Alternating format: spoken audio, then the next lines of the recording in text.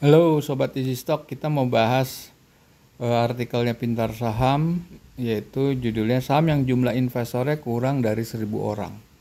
Artinya saham ini sangat atau tidak liquid karena uh, buyer dan sellernya itu cuma kurang dari 1000 orang per hari ya. Nah ini saham tidur boleh dibilang tetapi kalau saham tidur kita beli dengan harga yang super discount dan kita pasang panjang begitu eh, pasar merecognize atau ada eh, investor yang eh, tertarik pada saham itu karena eh, ada lonjakan daripada performa keuangan.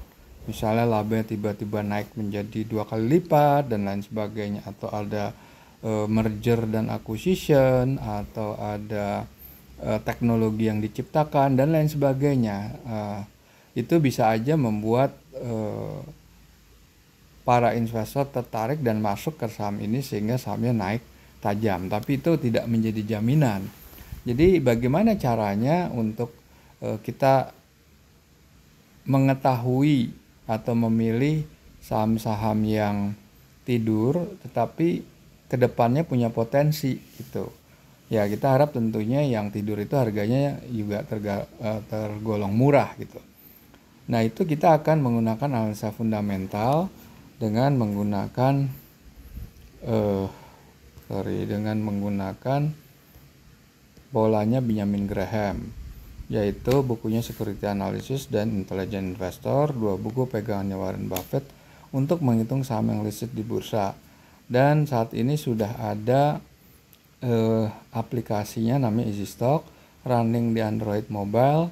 Eh, sementara silahkan request link kita kasih linknya nanti dan anda akan mendapatkan eh, display dari 830 saham yang listed di bursa di mana eh, Anda melihat perbedaan harga dan nilai wajarnya atau true value tertinggi dan terendah. Dan itu juga Anda bisa melihat ke belakang untuk periode-periode uh, dua tahun berikutnya, uh, dua tahun sebelumnya, sorry, dua tahun sebelumnya, yaitu 2021 dan 2020 20 atau sekarang udah 2023 berarti tiga tahun ke belakang ya bisa. Oke, itu untuk memperdalam uh, ilmunya Benjamin Graham ada dua buku e-book dalam bahasa Indonesia summary dari buku-bukunya uh, Benjamin Graham dan Philip Fisher gurunya Warren Buffett. Silakan cari di uh, gramedia.com Google Playbook dan uh, Tokopedia. Oke kita mulai aja. Uh, kalau easy stock seperti ini anda klik satu di sini bendera Indonesia anda klik turi. Turi tunas radian ini distributor mobil kalau lihat di sini harganya ini 1560 dan itu harga tertinggi nilai wajar tertinggi itu 1625 jadi upside-nya cuma 4% tetapi downside-nya bisa turun sebesar 20% nah ini kita lihat uh, lebih dalam lagi di panel berikutnya. Kita klik. Nah di situ akan lihat laporan keuangan terakhir dan kita lihat uh, financial ratio return on equity-nya bagus. Dalam 9 bulan sudah mencapai lah 17,5 profit margin masih di bawah standar 10% gross profit marginnya juga kecil. Dan ini kelihatan bahwa uh, bisnis ini emiten ini beban biaya pokoknya tinggi. Beban langsungnya tinggi ini direct cost ya karena apa? Gross profit margin cuma 9 persen gitu. Ya kan? Oke. Ini sebetulnya mas kemahalan kalau dia turun mungkin e, menarik ya. Terus kita lihat lagi BSWD BSWD BSWD Bank of India. Nah kalau di sini harga udah kemahalan nih. Itu e, nilai wajarnya cuma 650 coba kita lihat lagi ke belakangnya kalau Desember kan masih karena laporannya belum keluar yang kuartal keempat ya. jadi 2021 aja kita lihat berapa. Tetap kemahalan. Jadi ini harga ini terlalu dijagain terus gitu. Makanya nggak ada yang mau masuk. Loh, tetap kemahalan kan? Oke kita lihat BSWD BSWD kita klik di sini volumenya cuma 1307 eh volumenya 0 malah sorry volumenya 0 coba kita lihat Roni. Roni kayak gimana? Roni itu malamnya negatif. Coba kita lihat ya udah Q2 volumenya 0 dan uh, rasio keuangannya ini juga perusahaan ini sangat tidak efisien. Sangat tidak efisien dalam melakukan uh, operasionalnya.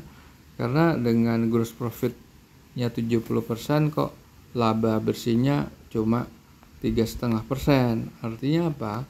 Dia itu terlalu tinggi untuk biaya-biaya pegawai mungkin eh, biaya direksi yang umumnya direksi itu owner juga gitu ini uh, tidak good of uh, apa CCG-nya corporate uh, uh, good governance-nya parah nih di sini. Oke, kita lihat lagi sama apa lagi? ASPI. ASPI. ASPI. Waduh, ini kecil amat nih. Ini saham penny stock ini, tidak menarik. Uh, saham penny stock. Ini juga sangat tidak efisien. Profit marginnya terlalu kecil, sedangkan gross marginnya lumayan 28%. Ini terlalu tinggi lagi harganya. Terus berikutnya fish. Kalau ini lihat volumenya sebelah volumenya banyak nih Aspi nih. Ya mungkin dia naik turun naik turun ya. Fish. Ini juga kemahalan sekali coba 3200 3300 nilai wajarnya closing price udah dua kalinya. Kita lihat. Ini gross marginnya cuma 6% berarti direct costnya tinggi sekali ya. Ini bukan bisnis yang yang yang yang yang yang tepat. Kalau berbisnis ini kerja bakti aja ini gini. Oke. okay setelah fish kita lihat API API API harta prima. Nah ini lumayan ini ini bagus nih API apa sih? Kita lihat dulu ya saham API API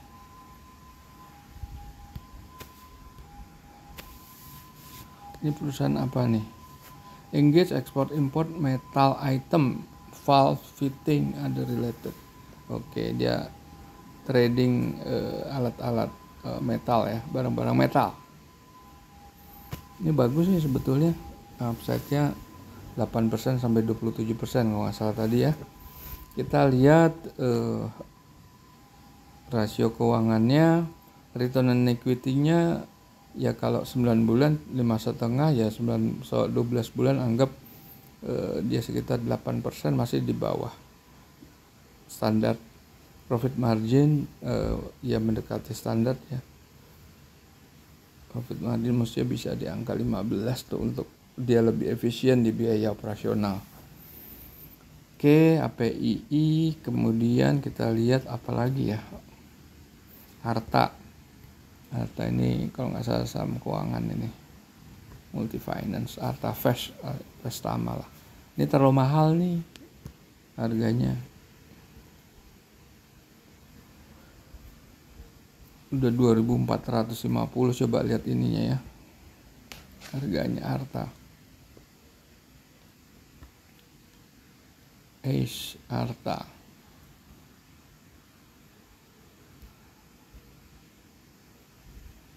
harta.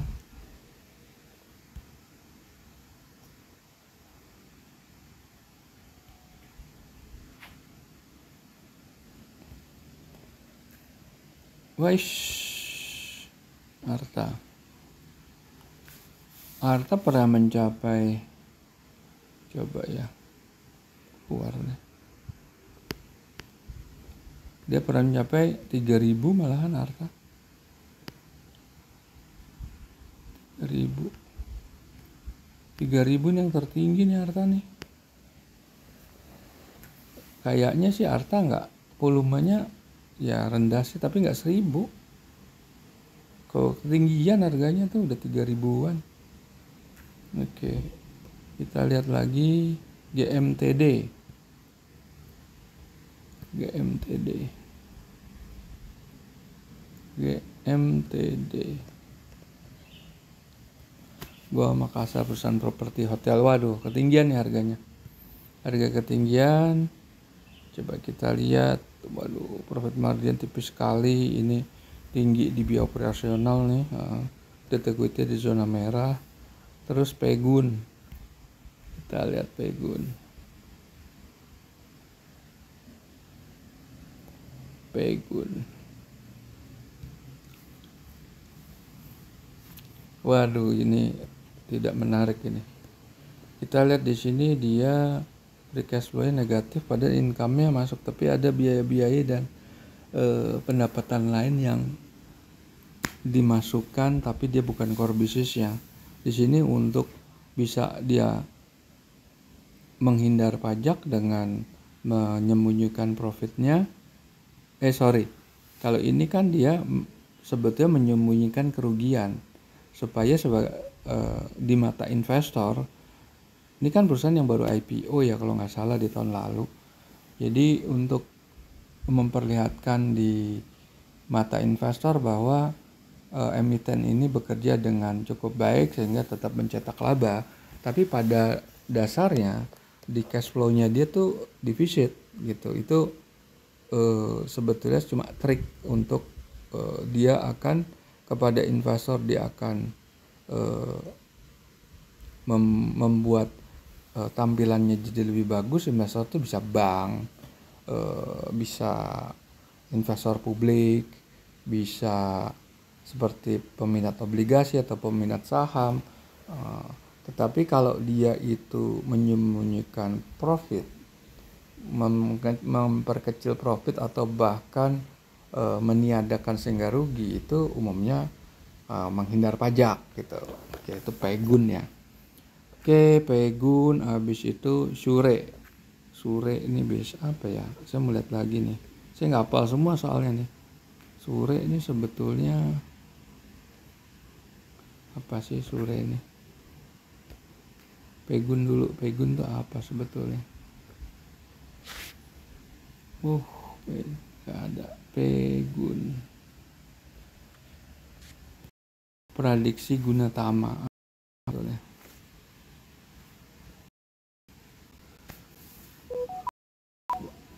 Palem CPO dia dia punya CPO oke okay, CPO terus kemudian kita lihat lagi sure. Sure itu apa? Sure super energy. Oh ini mining nih kayaknya nih. Uh, oil and gas ya. Uh, transportation services for mining transportation services sore kita lihat sore ya.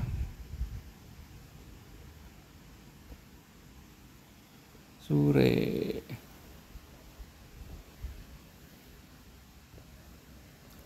sore wah nih nggak bisa dianalisa nih. Coba kita lihat ya sore ya. Dia udah net loss. Habis itu net loss working capital juga defisit kita lihat aja net current asset dibanding dengan sorry net current asset nggak nggak net loss dia atau working capital masih surplus tetapi dia akan negatif atau defisit di neracanya untuk jangka panjangnya. Dan dengan defisit ketemu defisit akhirnya semuanya defisit nggak akan kuat mengangkatnya. Oke habis sore kita apa lagi MGLV MGLV ini perusahaan apa sih? MGLV Panca Anugrah Wisesa apa nih? Luxury household product as kitchen sanitary. Oke okay. ini barang-barang lux ya. Eh, MGLV coba kita lihat MGLV MGLV wah ini bagus ini. Biasanya perusahaan luxury ini untungnya tinggi. Coba kita lihat ya. Lumayan 11,3 persen di atas benchmark dia. E, kondisinya e, untuk return equity-nya juga 14 persen di dalam 9 bulan ya. Kalau dia kalau dia apa? Kalau dia 12 bulan pasti lebih tinggi lagi di sini. Profit marginnya 11 oke okay lah gitu. Oke. MGLV kita lihat. Coba bener nggak sih MGLV di tahun-tahun sebelumnya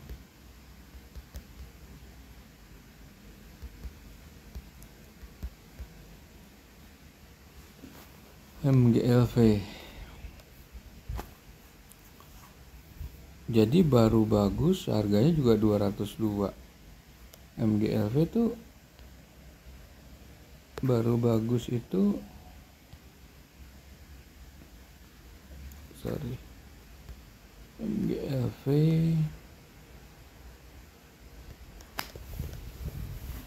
nah baru bagus itu di kuartal apa ketiga 2022 tuh.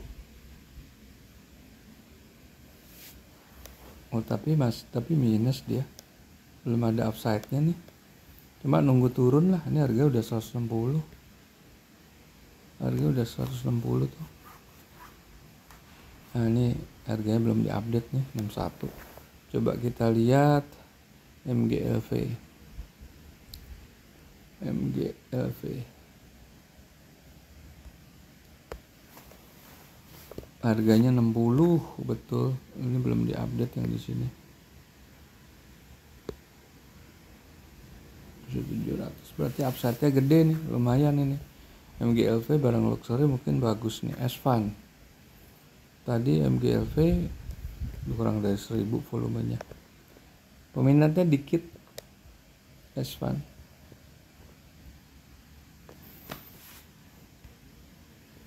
finance ya. Wah ini terlalu kecil nih. Terlalu mahal. Harga sahamnya udah over value Tuh, terlalu mahal over value oke para pemirsa jadi memang tadi saham yang turun saham yang tidur hari ini kan artikelnya saham yang tidur. Memang rata-rata mereka udah kebanyakan ketinggian.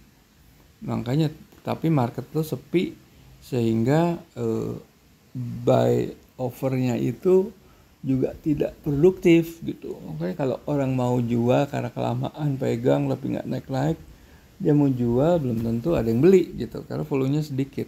Oke kita jumpa lagi di video berikut